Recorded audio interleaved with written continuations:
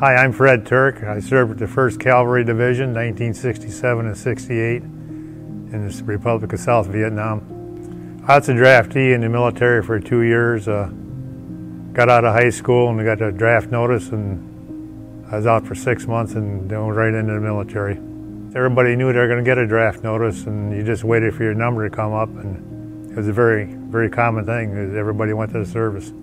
Being a young kid, excited, but yet you, you knew nothing, you didn't know anybody and all they did is hollered at you.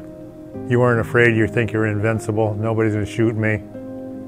And it was hard on my parents. When we landed in Vietnam, uh, we took a commercial airline over and they said it was going to be hot. They opened the door up, it's just like walking into an oven. It was 120. I was in the infantry, I carried a rifle and I was in a 81 millimeter mortar platoon. We carried it with our company. Hot, miserable, dusty. You knew what you might be doing, but you didn't know what you're doing. You talked to the old timers that come out of the field and, and it scared you more.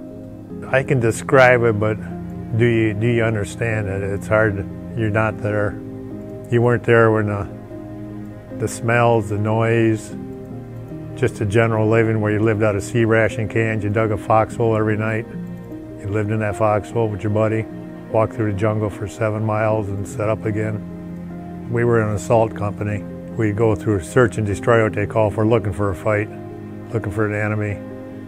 And if we got in a fight, you'd dig in or you'd you overrun them and take care of them.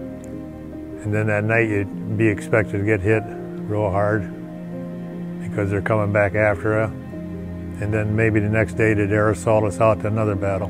We, we did a lot of air assaults and a lot of heavy jungle walking. The jungle was nasty. Pure misery, pure hell. You couldn't breathe. They were carrying 130 pound packs with you. Couldn't carry enough water.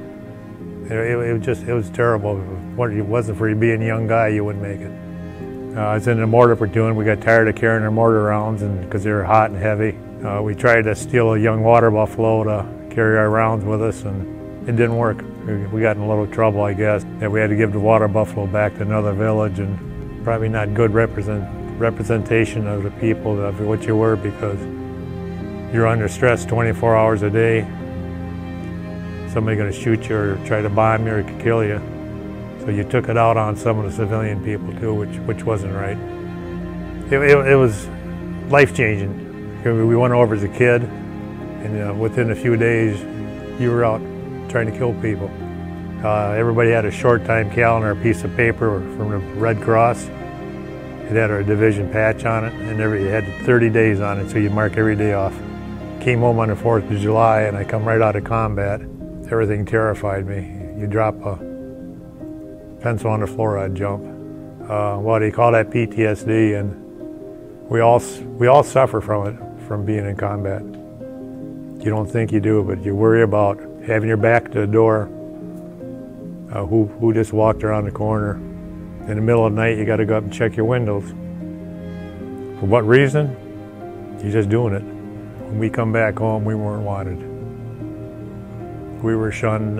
You didn't tell anybody you served in Vietnam. Yeah, I'm, I'm fortunate I can talk about it. A lot of guys can't, especially some of the bad things that you can release and get it out of your mind. It, it's back here, but it's bothering you, but you don't know it. I'm with the Buddy to Buddy organization out of Ann Arbor, a referral group, and some veteran needs help in anything, finances, uh, whatever it might be.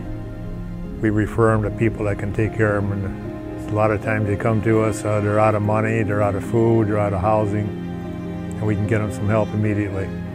And if you're talking to another veteran and you get emotional, it, it don't matter. Just tell a veteran, thank you.